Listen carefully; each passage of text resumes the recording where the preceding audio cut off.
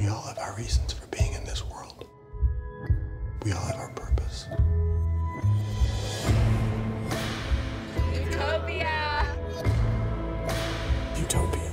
is a story about a genius scientist who made horrible viruses. Ebola, MERS, Zika.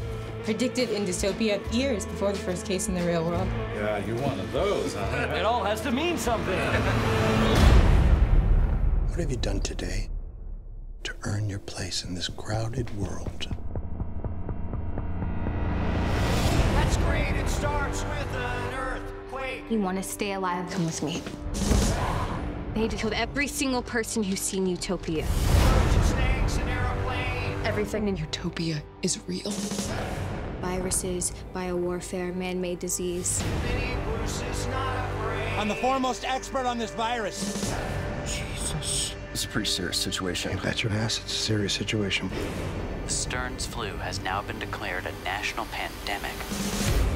This is our undoing. But we can fight it.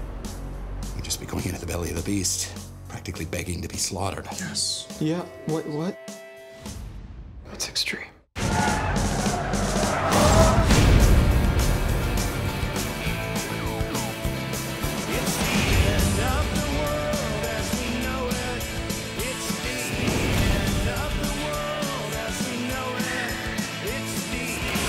How much evil do you have to do to do good?